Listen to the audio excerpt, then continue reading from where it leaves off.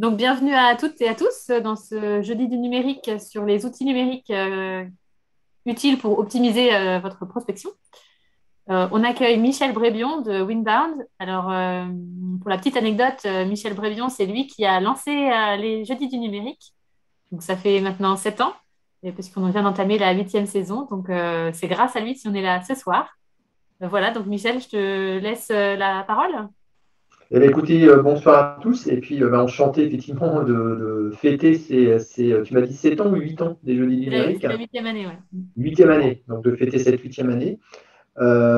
du coup, ce soir, c'est un, un, jeudi numérique un peu spécial, parce qu'en fait, on va essayer effectivement de faire un, live avec une démonstration d'outils sur les parcours du coup digitalisés. Puisqu'aujourd'hui, effectivement, comme vous le savez, le commerce ne se fait plus comme avant.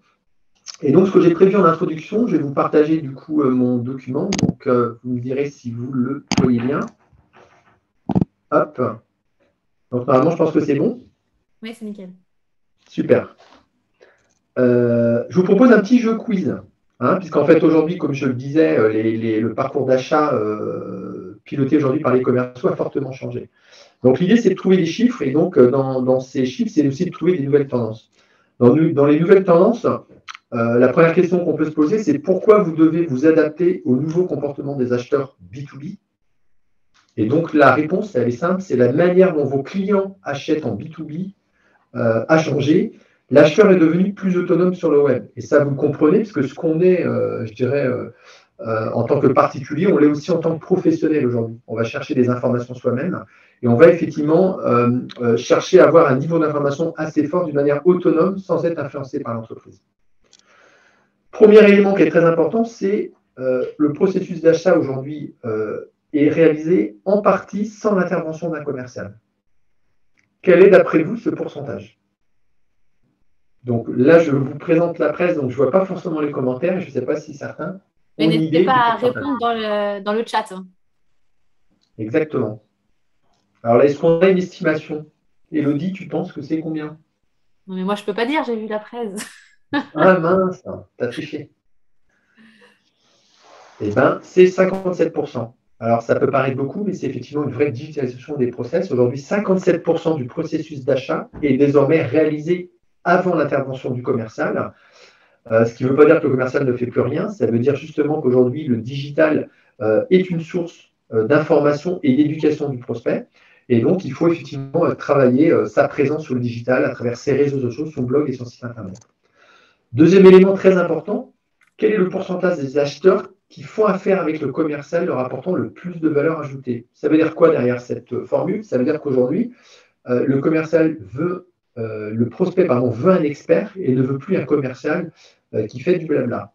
Et bien ce chiffre, c'est 74%. Aujourd'hui, la majorité des acheteurs font affaire avec un commercial qui est expert de son métier, qui apporte de la valeur. Donc la partie, alors vous me direz, il reste 25%, ben, les 25%, c'est peut-être le relationnel qui a toujours sa place, mais effectivement, c'est un sujet important, c'est qu'aujourd'hui, euh, c'est bien le commercial qui crée la valeur de la vente. Autre chiffre, euh, quel est le pourcentage des contenus produits par le marketing qui ne sont pas utilisés par les commerciaux? Et je rappelle juste qu'en contrepartie, l'équipe perd son temps 30 heures par mois à chercher des contenus ou à essayer d'en créer en essayant de faire ses propres contenus, ses propres montages. Et eh bien, c'est 80%. Donc, c'est-à-dire que massivement, les commerciaux n'exploitent pas les contenus produits par le marketing et que ces contenus, ben, ils ne savent pas vraiment où c'est, alors ils en prennent de temps en temps dans le blog. Donc, il y a un vrai travail d'alignement entre l'équipe marketing et commerciale pour justement euh, aider les commerciaux à être pertinents dans leur approche des 43% restants qu'on a évoqués tout à l'heure. Autre petit chiffre, et qui va sans doute vous surprendre, c'est le pourcentage des PME interrogées dans le cadre d'une enquête qui a été faite qui n'utilisent pas encore de logiciel CRM. C'est ce qu'on va euh, regarder tout à l'heure. C'est un outil de gestion de la relation client. C'est une source de Captera.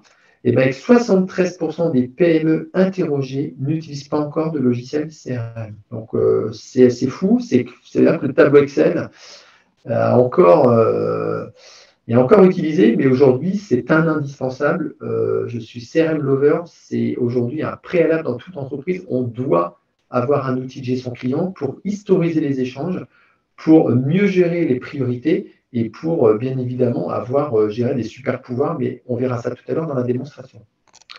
Autre petit chiffre, euh, LinkedIn a passé le cap des 20 millions. Donc aujourd'hui, véritablement, et je parle de la France, LinkedIn est un réseau professionnel avec une puissance considérable et c'est un annuaire euh, ouvert 24 heures sur 24 qui permet de faire du business. Alors ces petits chiffres, ce petit quiz, c'était pour vous montrer l'évolution du commerce et l'évolution des nouveaux outils euh, dans des, des parcours d'achat qu'on va pouvoir regarder dans quelques minutes. Alors, les classiques, c'est qu'en fait, euh, au cœur euh, du coup euh, du nouveau parcours, on a effectivement, on l'a vu tout à l'heure, 57% du parcours qui est fait directement par le client, par du contenu qui est lu. Mais ce contenu, il faut le produire et il faut qu'il intéresse la cible. Il faut qu'il soit customer-centrique et il faut surtout que ce contenu réponde à la problématique du client. On dit souvent qu'il faut qu'il réponde à ce qu'empêche de dormir mon client la nuit. et le commercial doit changer ses pratiques, il doit devenir un peu inbound marketer. Alors, dans les grandes pratiques de la stratégie inbound marketing, je voulais vous en rappeler quelques classiques et une petite révision. Il y a un livre très bien fait, euh, qui est une référence à mon sens, euh, fait, euh, qui a été, dont l'auteur est Stéphane Truffen, aux éditions Duno sur l'inbound marketing j'aurai la chance de, dîner avec lui ce soir parce que je suis à Paris et je le vois ce soir. Mais voilà, c'est un livre vraiment très bien, euh, très bien fait et qui explique vraiment tous les grands principes de l'inbound marketing. Donc, je vous le conseille. Euh, voilà, c'est un très très bon livre. Alors, l'inbound marketing, c'est une pêche au filet. C'est-à-dire que je vais aller chercher euh, plus largement un DSI, un directeur marketing, un DAF, que je veux attirer sur mes réseaux sociaux, mon blog et mon site internet.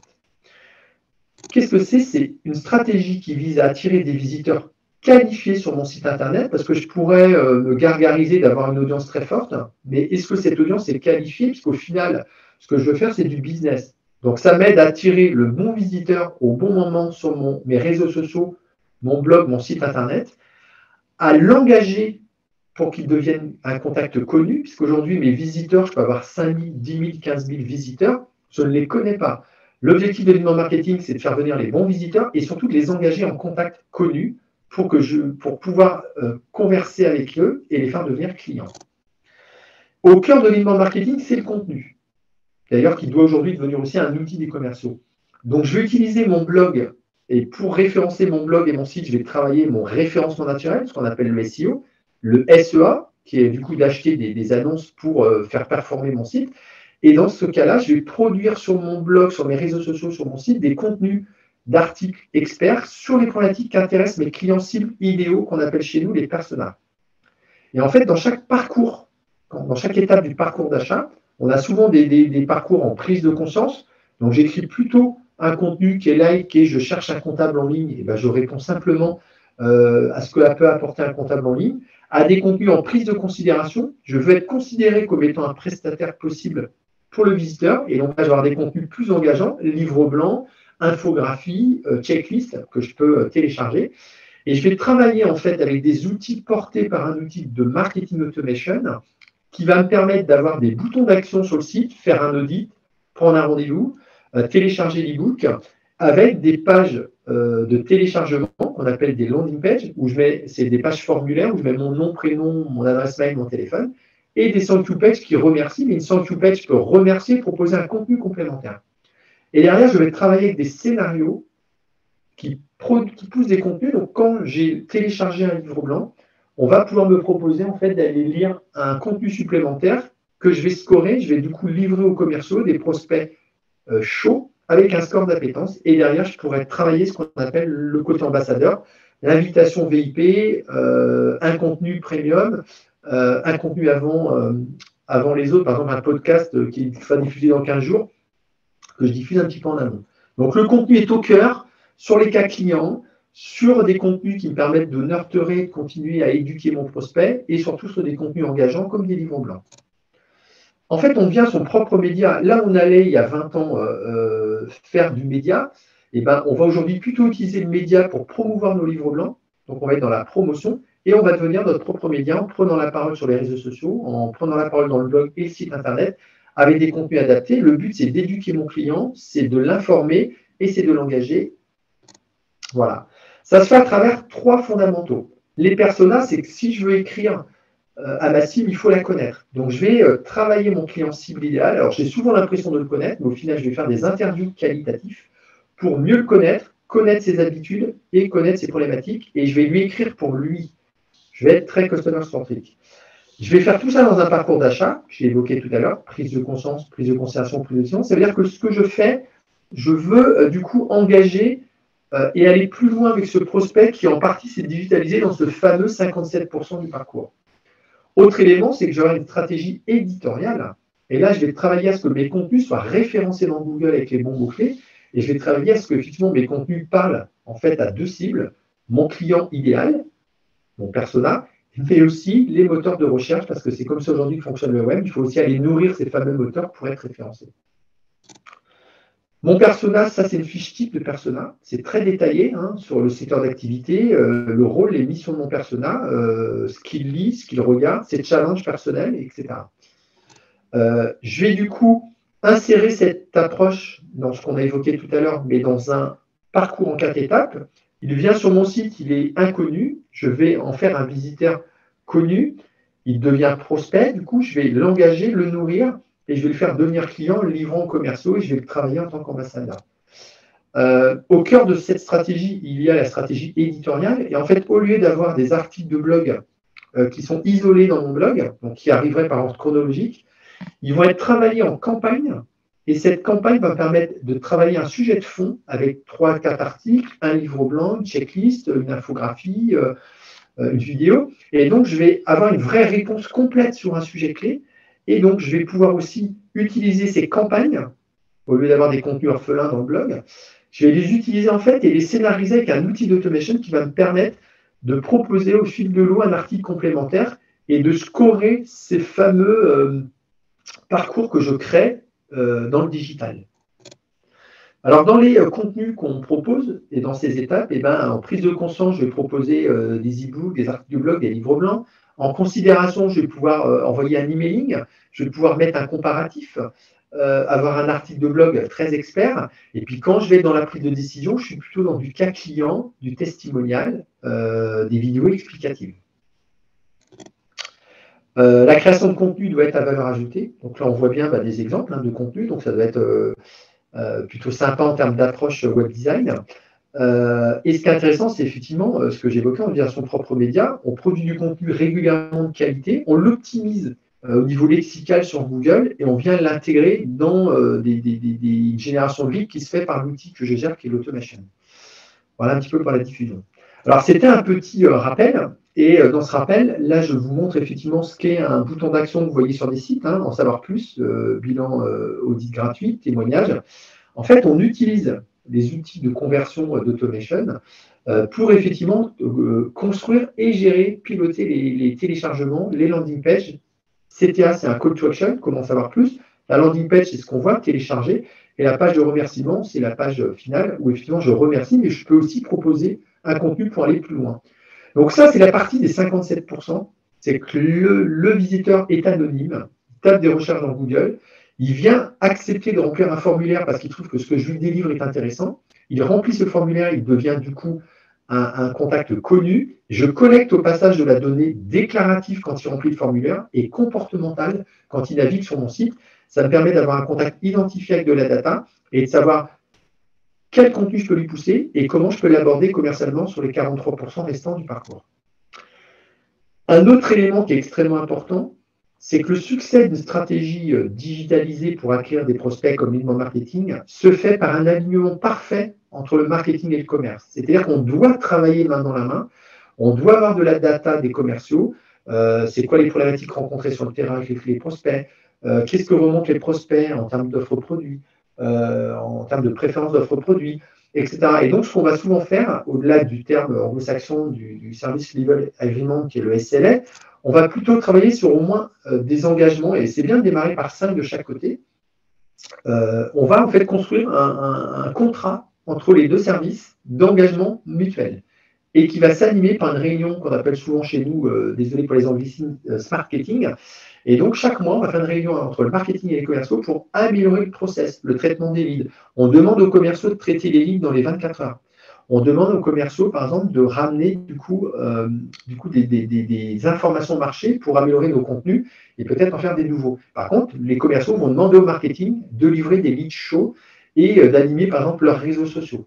Voilà. Ou quand je fais un salon, on va demander au marketing de préparer tout ce qui permet effectivement de communiquer sur notre présence au salon et peut-être de faire des documents qui nous permettent de remettre une plaquette au client ou etc. Donc voilà. Donc c'est des engagements mutuels qui permettent du coup d'améliorer le process marketing commercial qui sont des vraies clés de succès. Clé de succès, c'est bien travailler mon persona, euh, produire des contenus qui, répondent aux problématiques du persona. On dit souvent ce qui l'empêche de dormir la nuit. Donc, je suis très customer-centrique. Ensuite, c'est effectivement de, coordonner tous ces contenus pour attirer et surtout engager le prospect à s'identifier. Et ensuite, c'est d'avoir un vrai travail collectif pour bien traiter les leads et, euh, avoir, je dirais, euh, quelque chose, une unité dans, dans, le travail qu'on va faire en commun. Donc, pour commencer, rédiger 10 engagements, 5 côté sales, 5 côté marketing, collecter des idées de contenu des sales euh, qui connaissent parfaitement les problématiques des clients sur le terrain. Voilà. Attention, les outils ne sont qu'un moyen de porter vos pratiques et votre stratégie. Alors, vous allez peut-être me dire pourquoi ce soir on va faire une petite démo d'outils. Bah, c'est parce que ces outils sont qu'un moyen, mais malgré tout un moyen euh, très moderne qui permet du coup d'améliorer les processus. Alors, ce que je vous propose, c'est un peu particulier. Je vous propose de se lancer dans un exercice réel. Donc, vous m'excuserez si euh, je tâtonne un peu des fois parce que j'essaie d'ouvrir un peu toutes mes fenêtres. Euh, je vous propose de faire trois parcours d'achat digitalisés. D'accord? Le premier, c'est un suspect d'un réseau social. J'ai pris LinkedIn, puisqu'on en a parlé tout à l'heure avec ses 20 millions d'abonnés. Comment je peux, à partir de LinkedIn, traiter un lead et l'amener, du coup, dans ma lead gen, hein, du contact à la vente C'est bien ce qu'on va essayer de faire. Deuxième projet, c'est un lead qui vient d'un salon professionnel. Et troisième sujet, là, ça va être le must, c'est un lead qui vient de votre site Internet. Est-ce qu'il y a des questions euh, particulières sur, euh, du coup, euh, ce que j'ai évoqué sur l'e marketing, sur quelques chiffres sur l'évolution du parcours d'achat? Est-ce que vous avez des questions? Dans le chat, ou n'hésitez pas à activer vos micros, hein, il n'y a pas de problème. Non, pas de questions pour moi. ok. Et eh écoutez, s'il n'y a pas de questions, ouais. On continue mm. Ok. Donc, on va euh, se lancer dans trois parcours. Premier parcours, c'est effectivement un suspect du réseau social LinkedIn euh, pour lequel vous voulez apporter de la valeur par des messages et des contenus pertinents. Encore une fois, l'outil n'est qu'un moyen. Donc, ce que je vais vous proposer, c'est qu'on va le faire en direct. Donc là, je suis parti euh, d'un schéma qui est, euh, je pars de LinkedIn. Euh, alors, je vais parler d'outils, hein, puisque là, c'était un peu le, thème de ce qu'on voulait faire. Donc, je vais parler effectivement de LinkedIn, qui a du coup un Sales Navigator qui permet d'aller plus loin. Donc, c'est un peu les super pouvoirs de LinkedIn. Je vais vous parler d'un autre outil qui s'appelle Leadjet, qui est un outil qui est aussi adossé à LinkedIn, donc une extension, et qui permet du coup d'avoir des vraies fonctionnalités intéressantes. Et je vous parlais de l'atterrissage dans HubSpot. C'est-à-dire quoi? C'est-à-dire qu'on va partir d'un contact du réseau social pour l'amener dans mon outil de gestion client, euh, qui est mon réceptacle. Alors, pour faire ça, je vais euh, sortir du coup de ma présentation. Donc, vous voyez toujours mon écran. Et je vais euh, du coup le faire en live. Donc, en live, on va aller sur du coup LinkedIn. Donc, normalement, vous voyez toujours mon écran sur LinkedIn. C'est bon? Oui. Oui, ok, super. Alors, déjà, je vais quand même vous donner quelques petits tips sur LinkedIn. Euh, euh, sur LinkedIn, pour avoir du succès, alors euh, j'ai la chance d'avoir 22 000 abonnés, donc du coup, j'essaie d'animer ma communauté. il y a trois tips. Premièrement, je ne devrais, en théorie, demander de se connecter ou accepter les connexions que de mes personas, puisque LinkedIn est un réseau professionnel pour lequel je veux attirer, en termes d'audience, les clients cibles idéaux que je vise. Donc déjà en termes de pratique, je devrais travailler mon audience. Donc aujourd'hui, dans mes 22 000 abonnés, j'ai une audience à peu près de 80% de directeurs et directrices marketing qui est ma cible idéale. Donc c'est ce que je travaille et c'est la manière dont on doit travailler. Euh, autre élément, on ne vend pas sur LinkedIn. Donc on l'entend beaucoup. On dit souvent, bah, je vais faire du business sur LinkedIn. Je ne crois pas qu'on peut vendre sur LinkedIn. LinkedIn est un réseau d'influence. Je peux influencer ma communauté je peux euh, euh, communiquer des informations à ma communauté et je peux détecter des suspects. Et après, je vais euh, revenir dans un schéma normalisé d'un acte de vente. D'accord? La question qu'on peut se poser, c'est comment détecter une opportunité sur LinkedIn? Ben, Vous avez plusieurs solutions pour détecter. Premièrement, vous pouvez taper dans la barre de recherche des recherches et aller du coup chercher euh, des gens dans, le réseau. Donc, vous allez dans le réseau et vous allez pouvoir euh, faire des recherches. D'accord? Ensuite, vous avez des personnes qui ont vu votre profil ou LinkedIn vous propose du coup mécaniquement des profils qui peuvent vous intéresser. Si vous allez vous connecter systématiquement à des directeurs et directrices marketing, il vous proposera systématiquement des nouveaux directeurs et directrices marketing. D'accord? Donc, il y a des moyens de recherche. Je peux chercher des fonctions, directeur marketing, directrice marketing. Voilà, si on prend cet exemple, euh, DSI, euh, DAF, je vais pouvoir les chercher. Voilà. Il existe en fait des fonctions avancées. Hein. il existe un outil qui s'appelle Sales Navigator, qui est la fonction avancée de LinkedIn. Ça permet plusieurs choses. Ça permet d'une part d'avoir des recherches avancées. Donc, je peux du coup euh, aller voir tous les filtres de recherche que propose LinkedIn sur ces 20 millions. Et donc, je vais pouvoir mettre dans ces filtres ce qui m'intéresse et ressortir des listes intéressant et je peux enregistrer ces listes. D'accord? Je peux faire une liste aujourd'hui euh, sur une zone, euh, Pays de la Loire, je vous ai fait. Eh ben, j'ai euh, mis des critères dans ma liste de recherche et j'ai l'ensemble de la liste des DIRCO Pays de la Loire. Donc ça, c'est un outil avancé qui est plutôt très bien fait, qui permet du coup de travailler. Euh, je vais pouvoir aussi, à partir du coup de LinkedIn, travailler sur des sujets qui m'intéressent j'ai pris, je vais prendre un exemple, c'est euh, le CIRA de Lyon qui a eu lieu très longtemps, qui est un salon du food service. Bah, sur ce salon du food service, euh, euh, l'entreprise a communiqué. L'entreprise qui est organisatrice, du coup qui est GL Events, a communiqué sur son salon.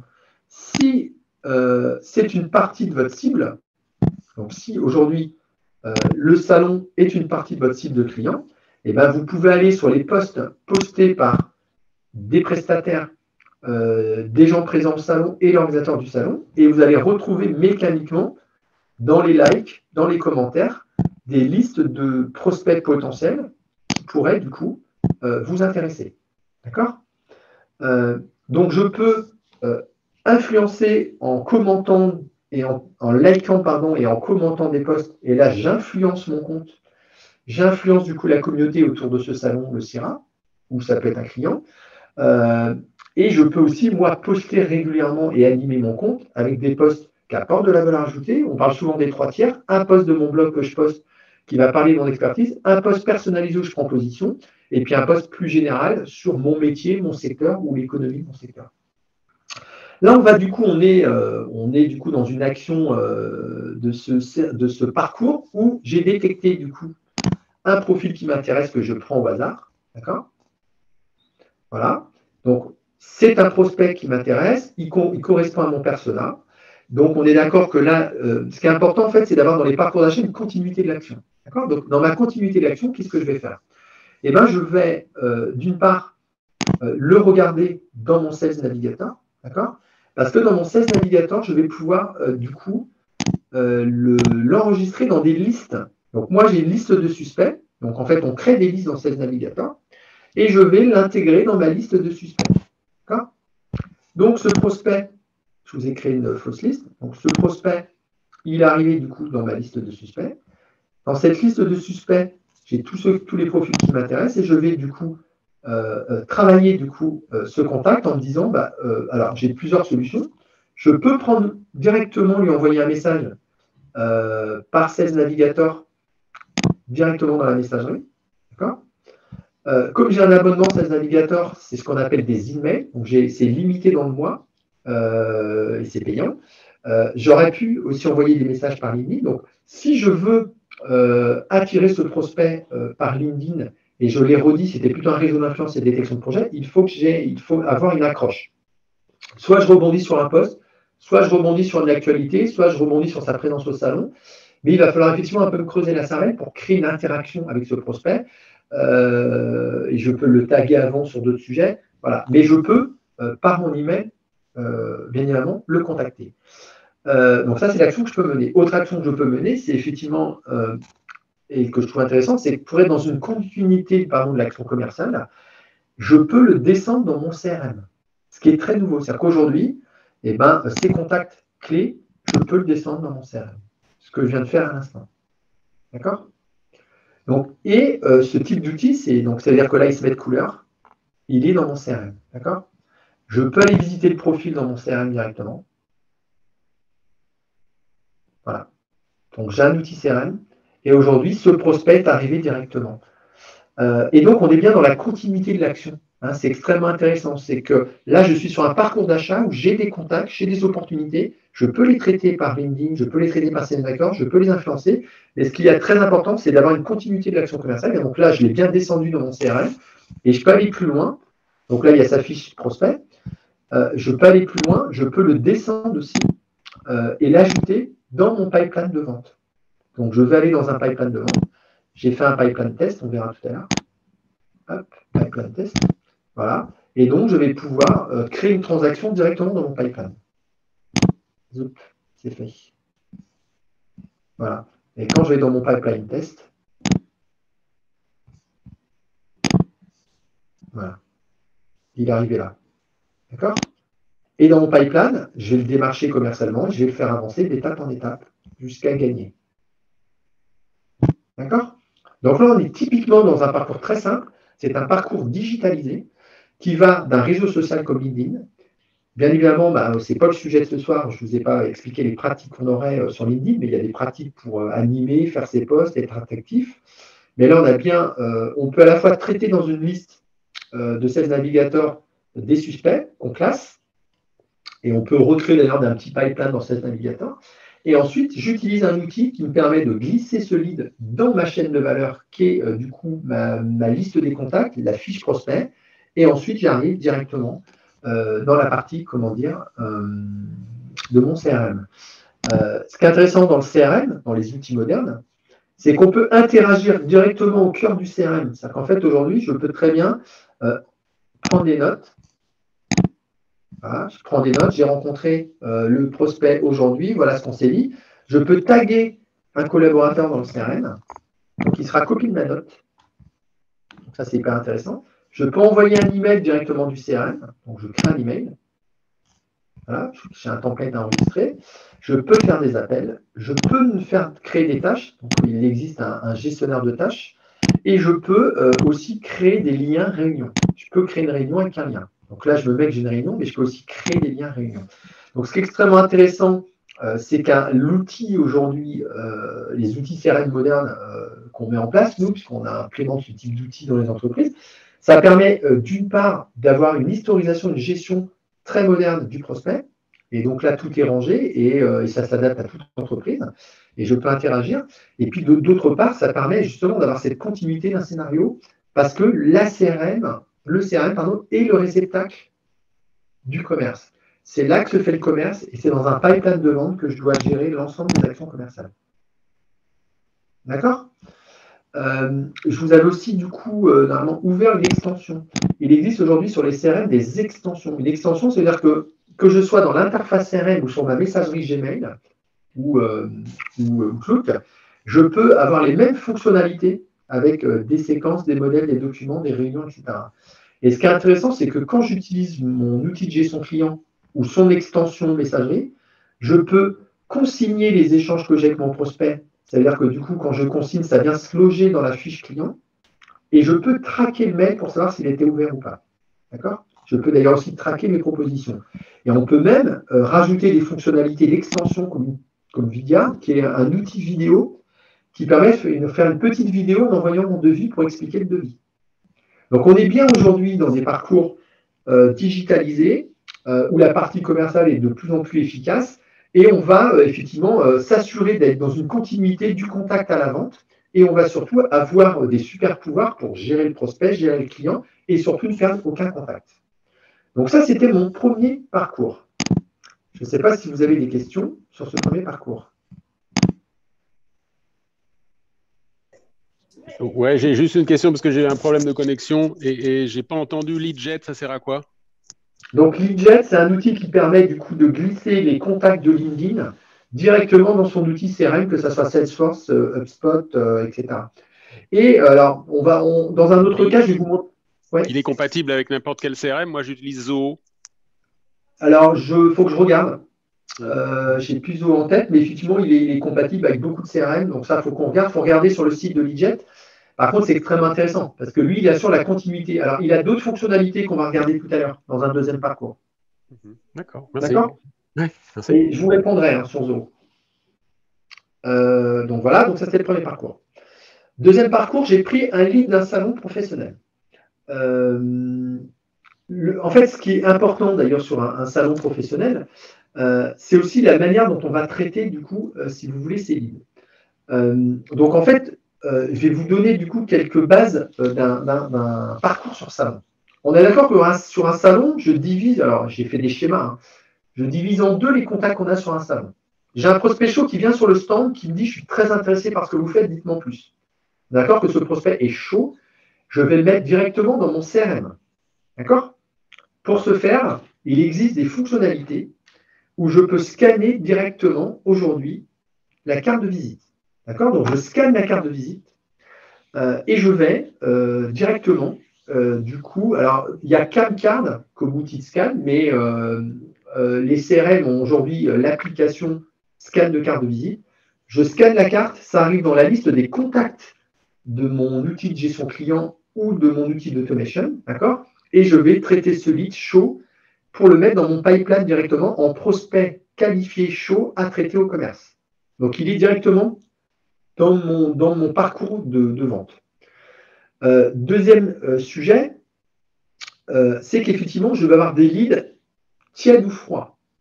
Un lead tiède ou froid, c'est quelqu'un qui passe en visiteur, qui ne pose pas trop de questions, qui laisse quand même ses coordonnées, bon, il n'est pas très assidu dans l'échange, ou j'ai des listes de participants qui me sont donnés par du coup l'organisateur. Attention à ce que ces listes soient opt-in, c'est-à-dire qu'elles soient en termes d'RGPD possibles en traitement, euh, des fois, c'est marqué, c'est-à-dire qu'en fait, l'organisateur, il fait cocher des cases euh, qui autorisent les partenaires à recontacter les participants.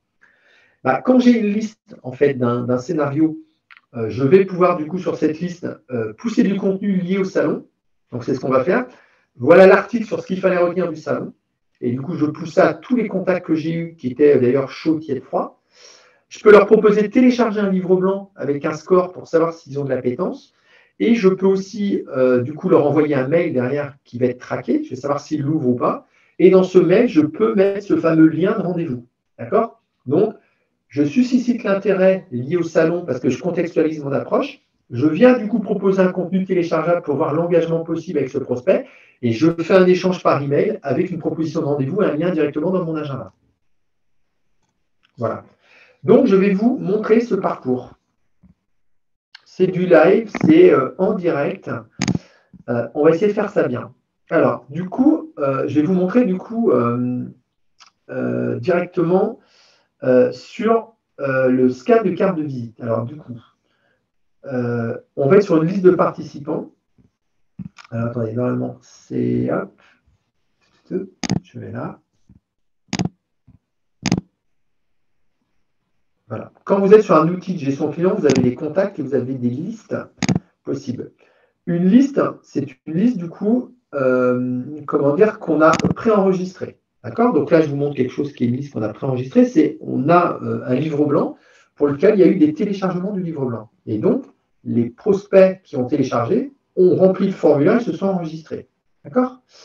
L'intérêt de travailler cette liste, c'est effectivement qu'on va créer des scénarios. Donc, on va créer ce que je viens de vous montrer c'est qu'en fait, on va avoir euh, d'un côté, du coup, euh, tous ceux qui sont arrivés dans le pipeline. Donc, dans le pipeline, je remonte ce que c'est le pipeline.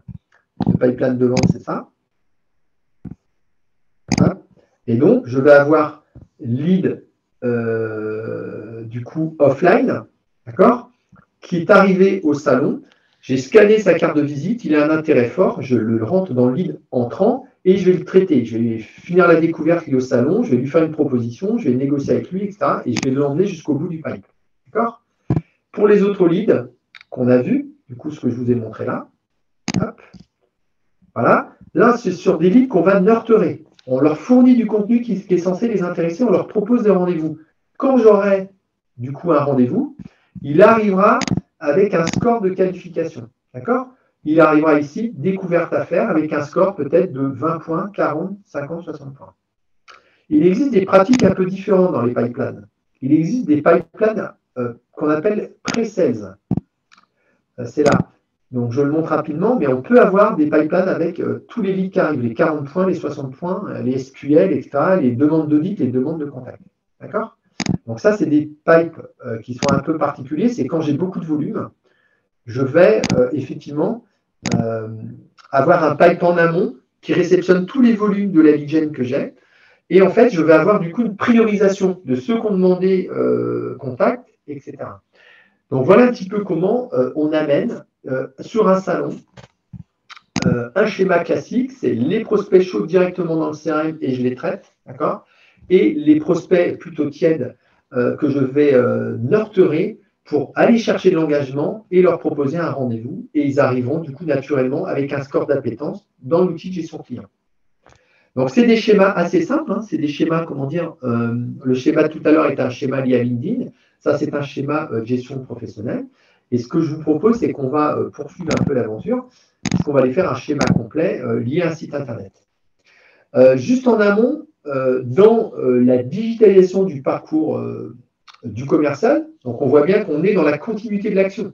Hein, j'ai des contacts, je dois les qualifier, je dois les traiter, je dois créer de la valeur, pousser des bons contenus, c'est ce qu'on a évoqué tout à l'heure en de marketing, et je dois surtout les amener dans un réceptacle commun pour bien les traiter et avoir aussi des KPI. Dans ces outils-là, il existe des nouveaux outils de prise de notes. Alors oui, je suis d'accord, ça peut faire gadget. Euh, on a toujours un petit côté sympa avec notre Remarkable.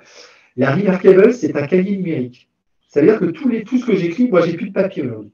Je prends toutes mes notes sur la Remarkable. Je peux les envoyer du coup dans mes dossiers clients, les notes manuscrites que j'ai prises. Alors, vous pourriez me dire pourquoi vous ne tapez pas sur l'ordinateur les notes. Et bien, des fois, quand on est d'ailleurs en visioconférence de plus en plus, en plus fréquemment, bah, c'est un peu compliqué de prendre les notes. Le client, il voit vos doigts, vous n'êtes pas concentré sur le face-à-face client. Et donc, c'est plus facile des fois de prendre des notes à côté. La Remarkable, ça enregistre les notes. Ça permet de les remettre dans le dossier client. Et euh, ça permet de les lire sur son smartphone, sur la Remarkable qui est une tablette au final, et directement sur un dossier client qui existe, euh, sur un dossier pardon, que vous avez sur votre bureau. D'accord? Euh, donc, on ne va pas, pour une raison de temps, euh, regarder. Je vous invite à regarder des vidéos. Franchement, c'est un outil qui est bluffant, qui est sympa, qui est durable, parce que du coup, on utilise moins de papier. Et on peut aussi s'envoyer des PDF qu'on peut lire et qu'on peut annoter sur la Remarkable. Donc, moi, c'est un peu mon coup de cœur. Il m'en fallait un ce soir. Euh, j'ai un peu flashé il y a un peu plus d'un an sur l'outil. J'ai équipé mes équipes commerciales de l'outil. Euh, ouais, franchement, c'est euh, vraiment sympa. Bon, c'est on, est dans le temps moderne de tout le parcours. Il n'y a plus de feuilles, il a plus. Voilà, on est sur la Remarkable. toutes les notes qu'on prend sont soit dans HubSpot ou dans le CRM qu'on utilise comme Zoho. Donc, du coup, on vient historiser l'ensemble des échanges. on vient traquer nos emails, on vient prendre des notes sur un outil moderne on peut le partager à tous ses collègues. Je peux faire un partage de ces notes à qui je veux. Il suffit de rentrer de la messagerie mail. Donc, c'est un peu mon coup de cœur. Et des fois, ça fait du bien aussi d'avoir un petit outil sympa euh, qu'on a un petit peu avant tout le monde. Euh, alors là, on va parler du parcours Grand Chelem. Il nous reste du coup un peu plus de 20 minutes. Euh, le Grand Chelem, c'est le grand parcours à partir du site Internet. Donc, c'est un livre de votre site Internet, de votre blog, ou qui a pu arriver du coup par les réseaux sociaux. Euh, pour lequel j'apporte de la valeur en termes de message, en termes de contenu, de pertinence. Et euh, même si les outils sont qu'un moyen, je vais utiliser une succession d'outils pour amener ce lead à l'avant dans le CRM. Je vous ai dessiné du coup ce parcours. Euh, rappelez-vous ce qu'on s'est dit tout à l'heure sur les noms marketing. au tout début, je vais attirer sur mes réseaux sociaux, mon blog et mon site internet des prospects qui sont mon persona, mon client cible idéal, par la qualité des contenus que je, que je poste et que je diffuse. Ils doivent remonter dans des volumes de recherche sur Google. Et donc, des visiteurs vont atterrir sur mon site, ce qu'on appelle l'audience. Mais ce visiteur, il est inconnu. D'accord? Donc, en fait, oui, ben, j'ai 15 000, 10 000, 20 000 contacts, très bien, mais je ne connais pas mes visiteurs. L'objectif, c'est de faire en sorte que d'intéresser ma cible pour qu'il atterrisse sur mon blog et mon site, mais c'est surtout qu'il s'engage à télécharger des contenus à forte valeur ajoutée à travers des livres blancs, des boutons d'action, euh, des formulaires qu'on a vus tout à l'heure, et il va devenir un visiteur connu. Et je vais avoir deux sources de données. Une donnée, du coup, qui est une donnée euh, de ce qu'il a rempli dans le formulaire, nom, prénom, mail, téléphone, je choisis euh, les, champs que je veux faire remplir. Et je vais collecter de la donnée comportementale, qui est euh, les pages qu'il regarde, les produits qu'il regarde sur le site Internet. Et je vais quelque part l'onboarder à travers un scénario que vous voyez, qui fait qu'en fait, à partir du moment où il a téléchargé l'e-book, eh ben, je vais lui proposer, dans les jours qui suivent, des contenus de plus en plus intéressants pour lui, et je vais changer, c'est à, multi-branches. Euh, s'il dit oui, j'envoie tel contenu. S'il dit non, j'envoie tel contenu. Et en fait, je viens l'engager et l'amener dans, le pipeline, ce fameux pipeline, comme prospect qualifié avec un score d'appétence. D'accord? Donc ça, c'est un parcours idéal. Euh, ensuite, une fois euh, que je l'ai identifié qu'il est dans, mon, dans mon pipeline, je vais lui proposer du coup d'échanger au téléphone. Je vais lui envoyer un mail avec une prise de rendez-vous. je peux du coup aussi du coup, lui partager le, fait d'avoir un échange en visioconférence, comme on fait à l'instant. Je prends mes notes pendant cette visioconférence sur la fameuse Remarkable, d'accord? Et je vais du coup travailler à une proposition qu'on doit co-construire. C'est extrêmement important. On doit co-construire cette proposition et je vais le faire avancer d'étape en étape dans mon pipeline et je vais utiliser un outil nouveau qui est DocuSign ou tout autre outil qui permet du coup de faire signer euh, ce fameux euh, devis euh, en live suite à l'entretien, à la validation de mon client. Et donc, je vais gagner un temps monstrueux, puisqu'aujourd'hui, 64% des documents sont signés en moins d'une heure grâce à la signature électronique. D'accord? Donc, je viens bien compléter ce fameux parcours des réseaux sociaux, du blog, du site, de ces fameux formulaires qu'on a vus tout à l'heure en termes de parcours, qui m'amène un visiteur connu qui rentre du coup dans ma partie marketing. Je, viens le nurturer et le nourrir de contenu de plus en plus expert. Il a un score d'appétence, il m'est redistribué du coup par notification dans mon pipeline de vente et le commercial est notifié qu'il a un nouveau lead show qui vient de rentrer. Ce lead, je le contacte par téléphone, par mail, je lui propose un rendez-vous un, rendez-vous directement euh, par un lien lié à ce que je peux créer dans mon CRM. Je fais une visioconférence, je prends mes notes sur la Remarkable 2, je viens co-construire une proposition avec lui et je lui envoie cette proposition. Il avance dans mon pipeline et je facilite la signature par un, outil de signature électronique. Quand on dit ça, ça paraît tout simple. Donc voilà un petit peu les parcours qu'aujourd'hui qu'on crée euh, et le client est gagné. Alors, quand on regarde du coup euh, très rapidement euh, sur un site internet comment ça se passe, eh ben, vous êtes sur par exemple le site de. Hop. Voilà. Eh ben, on a aujourd'hui effectivement euh, des boutons d'action. Contactez-nous, audit gratuit, lancez votre projet. On va du coup chercher systématiquement l'engagement du prospect. D'accord? Donc quand je fais audit gratuit, ben, j'atterris sur une landing page. D'accord? Bon, il me connaît, donc euh, il, me reconnaît, donc il ne demande pas d'informations. Et quelqu'un qui s'identifie, s'il a navigué pendant un ou deux mois avant, je vais récupérer une partie de ces données. D'accord?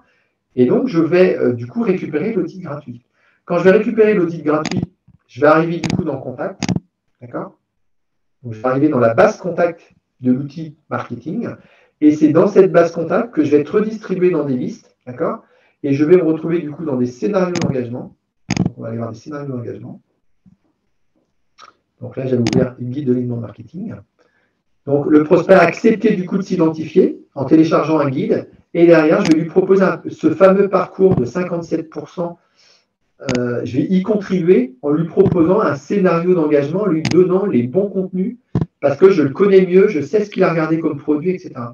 Et du coup, pendant tout ce parcours qui, qui fait partie des 57% du parcours socialisé, je lui mets un score d'appétence et ce score d'appétence me permet de distribuer aux commerciaux dans le pipeline véritablement des prospects chauds qualifiés qui arrivent euh, en découverte.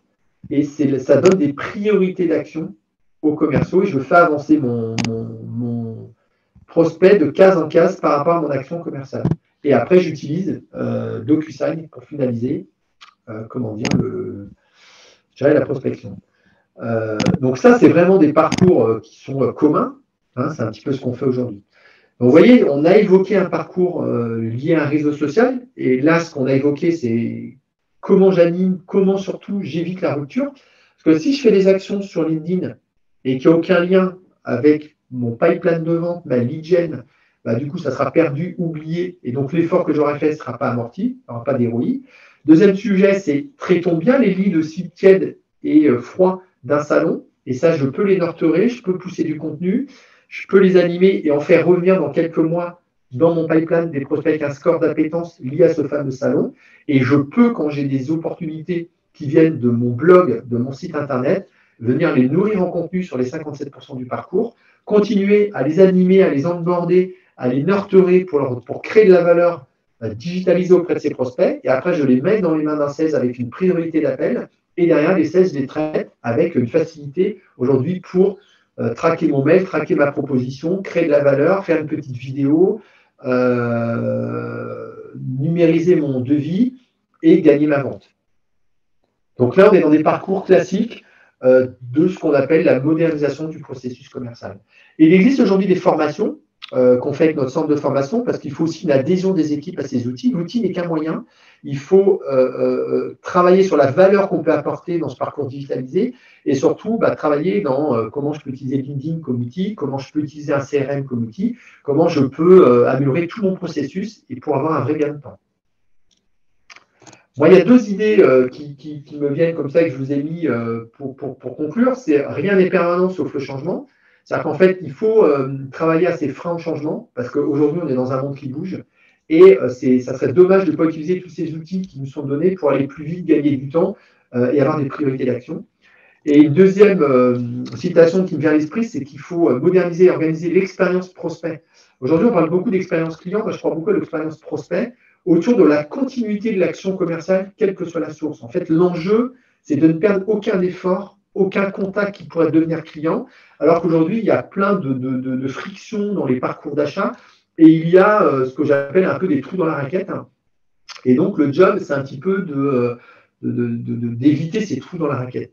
Voilà un petit peu ce que je voulais évoquer ce soir avec vous. Euh, j'espère que du coup, ça, a un petit peu de, résonance. et je vous propose du coup d'échanger avec vous s'il y, s'il y a des questions. Oui, bonsoir. Bonsoir. Euh, j'aurais une petite question par rapport au dans le parcours, euh, pour qu'un prospect passe d'une étape à l'autre sur, euh, du coup, le schéma en arbre que vous avez montré. quand il passe d'un contenu à l'autre, c'est-à-dire quand on va venir le nourrir, qu'est-ce qu'il va faire, qui va justement passer, d'une étape à l'autre? C'est qu'il va ouvrir le contenu et finalement, qu'est-ce qui crée, la valeur ajoutée? C'est le contenu lui-même euh, d'un livret blanc ou quoi que ce soit Ouais, bah, alors je vais, reprendre du coup des contenus sur un parcours salon. quand, je suis sur un salon, euh, tu as du coup ce que je disais, tes prospects chauds qui sont venus, tu les, traites, ils sont dans ton CRM, pas de souci. Pour les plus froids ou la liste des participants que tu as récupéré de l'organisateur, euh, ils sont tièdes ou froids. Donc, si tu veux, si tu vas tout de suite pousser, à mon sens, une offre au produit, ils vont dire je ne me suis pas engagé, je ne suis pas trop intéressé.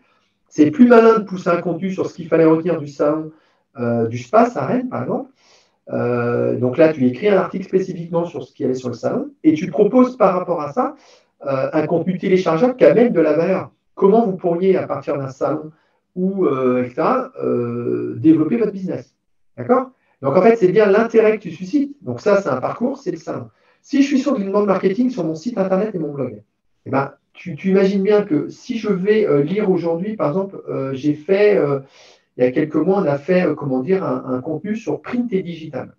Comment essayer de combiner les deux pour développer ses clients Eh bien, il y, a trois articles qui ont été publiés dans le blog. un article de prise de conscience, comment aujourd'hui on peut s'adapter aux nouveaux canaux. Voilà. Un article de prise en considération, comment telle entreprise a réussi en utilisant le print à développer son business. Et un article de prise de décision, c'est euh, comment euh, mettre en place cette stratégie-là. D'accord? Et donc, il y a ces trois articles qui permettent d'accompagner la campagne. Et il y a au, bout du bout un livre blanc avec un webinar téléchargeable pour en savoir plus. Et donc, il y a donc des prospects qui ont téléchargé ce contenu parce qu'ils le trouvent intéressant. Donc, ils ont accepté de lire le contenu 1, le contenu 2, ou peut-être le 3, ou peut-être que le 1 et le 2 dans la combinaison. Ils ont téléchargé du coup le webinar ou le livre blanc. Les deux options étaient possibles. Ils se sont donc identifiés, sont devenus une audience connue. Et à partir de là, on les connaît, on sait ce qu'ils ont déjà lu, on sait les pages du site qu'ils ont visitées, et donc on va leur pousser des contenus qui leur parlent. Quelqu'un qui a visité euh, refonte euh, de mon site internet, UX, euh, web design, etc., il est plutôt intéressé par le refonte de site. Donc je vais lui pousser les contenus qui semblent le plus l'intéresser. Et donc, il va voir que je connais bien ses besoins, que je m'intéresse à lui. Il va accepter de lire plusieurs contenus.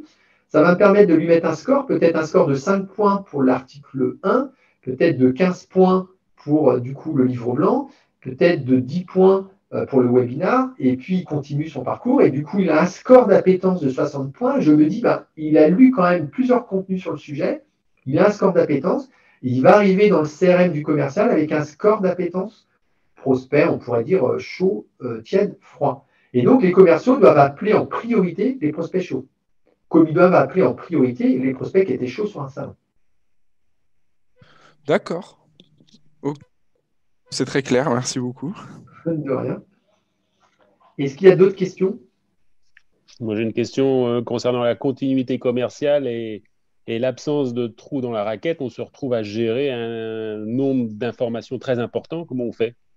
On s'en sort Alors, d'une part, il faut auditer, euh, et je, le fais souvent, euh, il faut faire un atelier d'audit, ce qu'on appelle l'atelier de traitement des leads, avec quelqu'un d'extérieur on pose, la manière dont on travaille, la manière dont on traite les leads, et on dit voilà comment on fait aujourd'hui. Et on découvre à chaque fois deux, trois trous dans la raquette. Et après, on vient corriger ces trous dans la raquette. C'est euh, une sorte de photographie à un T, mais c'est dans toutes les boîtes. Euh, c'est assez dur d'être parfait euh, dans ces process-là. Donc, on audite, on regarde, et une fois qu'on a regardé, ben, on va corriger le tir. on doit arriver globalement à des parcours sans rupture. Donc, je ne dis pas que c'est simple, mais on doit arriver à ça. Ça veut dire aussi que derrière, il faut éduquer les commerciaux et les reformer sur certains principes. Il y a aussi, euh, comment dire, des choses qui pour moi ne sont pas négociables. Alors, quand je dis ça, je ne veux pas dire qu'il faut les imposer, parce qu'il faut éduquer les commerciaux à, utiliser ces nouvelles approches et ces nouvelles pratiques commerciales. Donc, il faut les éduquer, les aider à comprendre leurs intérêts. Un commercial n'est jamais émis de ses intérêts, ce qu'il veut, c'est faire du business.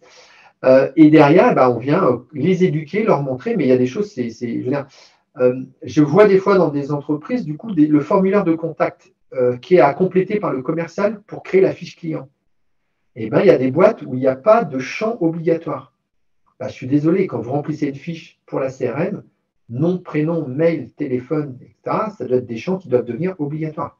Parce qu'autrement, vous n'avez que de la donnée partielle et euh, quand on veut exploiter la donnée pour un plan marketing, bah, si vous n'avez pas les emails, c'est compliqué. Donc ça, c'est aussi de l'éducation.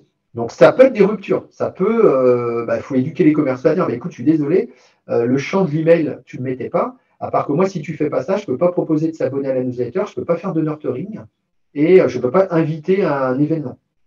Bon, ben voilà. Donc voilà, donc il faut éduquer à l'usage qu'on en fait. Il ne faut pas que ça soit une, je dirais, faut pas que ça soit la baguette. Il faut que ça soit dans l'éducation. Mais il faut, il y a des impondérables. Il y a aujourd'hui si on veut un parcours en continuité complète, il y a des, il y a des ruptures qu'on ne peut plus avoir. D'accord, merci. Après, si vous voulez, après on pourrait échanger, euh, je pourrais vous consacrer, euh, pas ce soir, mais euh, si vous voulez échanger un quart d'heure, 20 minutes sur des ruptures que vous avez, sur lesquelles vous posez des questions, n'hésitez pas à me recontacter. Puis c'est avec plaisir que je vous ferai l'échange. Ça, ça, ça, a été là pour, pour l'intervention avec Michel Brébion. Mhm.